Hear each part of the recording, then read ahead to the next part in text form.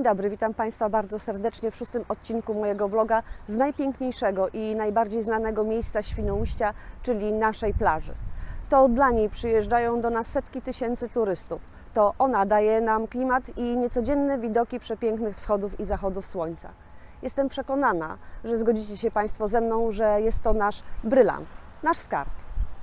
Oprawą naszego brylantu jest świnoujska promenada, szczególnie ta historyczna, zabytkowa. Kto z nas, i młodych, i starszych, nie kocha przebywać na naszej świnoujskiej promce? Każdy, kto ma tylko na to czas i ma chęci, żeby spędzać je właśnie na promenadzie. Nie minął jednak nawet rok od jej użytkowania, a widzimy, że ta nowa promenada po prostu się sypie. Mieszkańcy, którzy po pół roku pandemii przychodzą tu na spacery, przecierają oczy ze zdumienia. Mnie też boli ta źle wykonana inwestycja. Połamane płytki na wjazdach, zepsuta przez prawie rok fontanna, brudne płytki i ławki, uschnięte kikuty egzotycznych roślin. Co jeszcze się popsuje? Ile publicznych pieniędzy trzeba będzie wydać na remonty? A w tle jeszcze potężny konflikt finansowy z firmą MCC Molewski, który nie wiadomo kiedy i nie wiadomo jak się skończy. Znana jestem z uczciwości w wyrażaniu poglądów i walki o prawdę, bo tak trzeba. Kiedy wspominam o błędach prezydenta czy jego zastępczyni na sesjach Rady Miasta i próbuję przeciwdziałać kolejnym, jestem w odwecie przez nich publicznie poniżana. Wiem, że mam rację, dlatego pokażę dzisiaj Państwu historię remontu tego miejsca, żebyście sami mogli wyrobić sobie opinię. W Świnoujściu promenada historyczna po przebudowie miała być wizytówką miasta i powodem do dumy. Zaledwie po roku od odbiorów jest jednak powodem do troski, czy nie rozsypie się do końca, ale jest też powodem do wstydu. Mamy bowiem już czerwiec i początek sezonu. Tłumy na deptaku, a tu miasto bierze się za remonty nowej promenady. Czy to jest normalne? Źródło problemów to techniczne niedopracowanie projektów. Jednoznaczną odpowiedzialność ponosi za to Urząd Miasta, ale też brak realizacji jednego spójnego pomysłu na to, jak promenady mają wyglądać. Najpierw pół promenady zrobiono w płytkach czerwono-szarych, teraz drugą połowę w białych. Na połowie mamy lampy stylizowane na historyczne, na drugiej powyginane pałąki. Jakże boleśnie popsuto to, co mogło być naprawdę pięknie zaprojektowane i wykonane. Ale zacznijmy od początku. W ostatnich latach na przestrzeń tą zwaną kurort nadmorski, nowoczesna wizja przestrzeni publicznej, prezydent wnioskuje o coraz większe pieniądze. Z początkowych 35 milionów złotych w 2016 roku, dzisiaj jest to już ponad 70 milionów złotych. Ostatnie inwestycje, czyli promenada zdrowia, promenada zabytkowa, historyczna i trzy przejścia na plażę, miały kosztować na początku około 24 milionów złotych. Ich realizacja w ciągu zaledwie dwóch lat wzrosła prawie o 100%. Z planowanych 25 milionów złotych, w tym 10 milionów 700 tysięcy dofinansowania z RPO województwa zachodniopomorskiego do ponad 50 milionów złotych z tym samym dofinansowaniem. Pieniądze te mogły zostać wydane dużo lepiej, gdyż obowiązkiem władz było dopilnowanie procesu realizacji inwestycji. Ale jak widać po efektach, nadzór był niedostateczny. Użytkowanie promenad w kolejnych latach będzie bardzo drogie, szczególnie w zakresie utrzymania czystości oraz zieleni, która została oparta o nasadzenia sezonowe. Rada Miasta akceptuje te kwoty, ale wyraźnie zaczyna być widać, że są to byle jak wydawane środki i będą w przyszłości wymagały kolejnych dużych wydatków na naprawy i remonty. A tak przecież nie powinno być. Nie oceniam propozycji architektonicznych na tej promenadzie, bo są kwestią gustu. Młodszemu pokoleniu podobają się kolorowe światełka.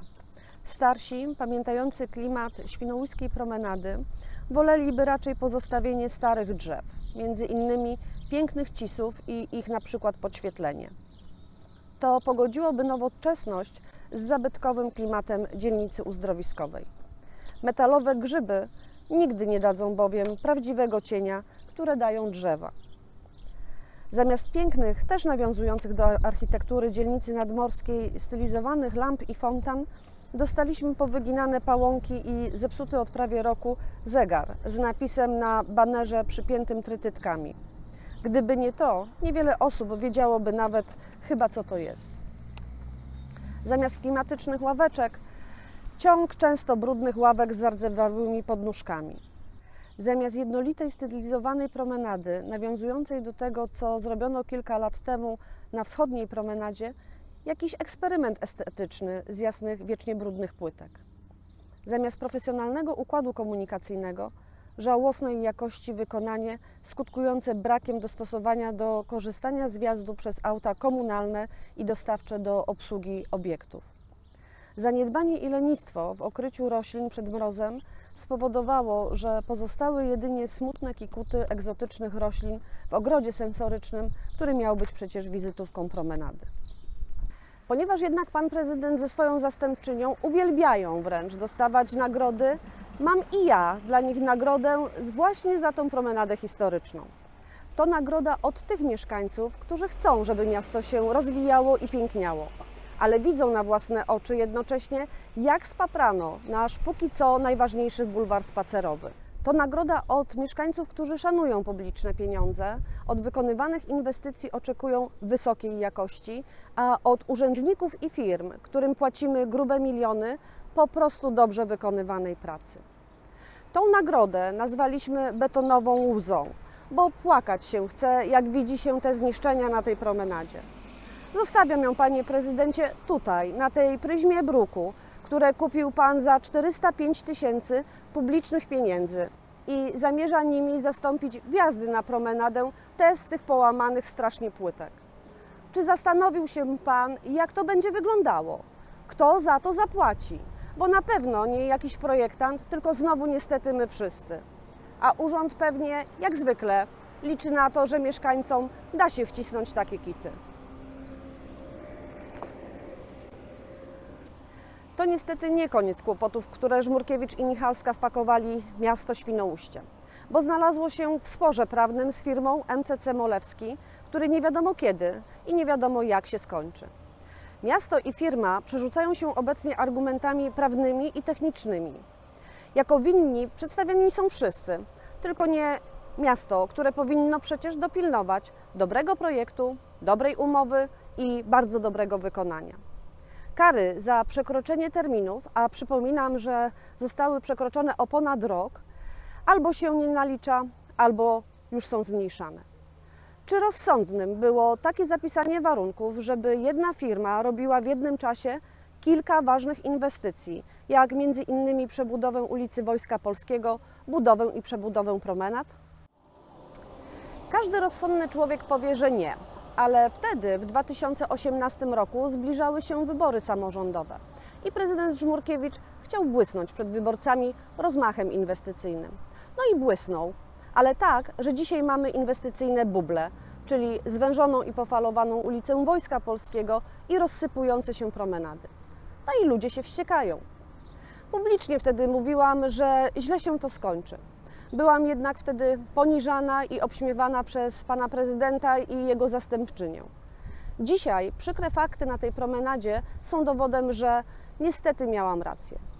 Pamiętam doskonale, jak radni godzili się kilka lat temu na wniosek zastępcy Barbary Michalskiej na zatrudnianie dodatkowych inżynierów w Urzędzie Miasta, bo inwestycji było tak dużo, że podobno nie dawali rady. Okazało się jednak, że mimo to miasto zatrudniało i wydawało e, ogromne pieniądze na dodatkowe nadzory zewnętrzne. Wyrzucono więc ogromne pieniądze publiczne. Z jakim efektem? No beznadziejnym, bo zamiast dumy większość z nas czuje po prostu złość. Szanowni Państwo, czy promenadę historyczną można było zbudować lepiej? No oczywiście, że tak. Wystarczyłaby wyobraźnia i odpowiedzialność. Dlaczego ludzie, którzy rządzą naszym miastem, tego nie posiadają? Mam nadzieję, że prezydent Żmurkiewicz razem ze swoją zastępczynią Michalską spalą się po prostu ze wstydu za to, co zrobili temu miejscu i naszemu miastu. I żadne ulotki, wykorzystywanie publicznych pieniędzy do prywatnego lansu oraz nagrody Zapchaj dziury tego złego wrażenia nie zmienią. Gołym okiem widać bowiem, jak to wszystko jest puste. Mniej propagandy, a więcej rzetelnej pracy Państwo z urzędu. Szanowni Państwo, dziękuję za poświęcony czas. Nasze piękne Świnoujście zasługuje na to, żeby duże pieniądze, którymi miasto dysponuje, były po prostu dobrze wydawane. Trzeba tylko, tylko pilnować. Rozwój musi dawać nam wszystkim komfort codziennego życia i napawać nas wszystkich dumą z miejsca, w którym żyjemy. Do zobaczenia w kolejnym materiale. Jeśli macie Państwo pytania i chcielibyście podzielić się ze mną swoimi opiniami, zapraszam serdecznie do kontaktu ze mną. Do zobaczenia.